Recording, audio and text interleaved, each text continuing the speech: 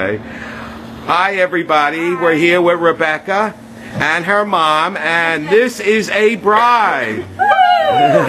and she's here for her day before pop-in visit just to take a peek at her flowers, and they are absolutely stunning. Gorgeous. Is, not that right?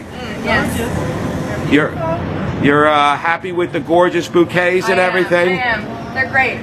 They're awesome. Exactly what I wanted. Gorgeous. And let's get a close up on that, Rebecca. Oh my God. White hydrangea, Vendela roses. And what color ribbon do you have? White.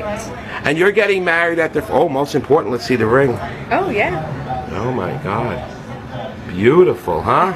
You did well, Rebecca. Mom, what do you think? You happy? Just hope I'm not sick tomorrow, man. Oh my God! And you're getting married at the French, the French estate, right? And that's on June 7th, right? Yeah, tomorrow. Oh my God! You must be so excited. Yeah. All right. Well, we thank you so much for popping in a day or two before and watching us do your wedding.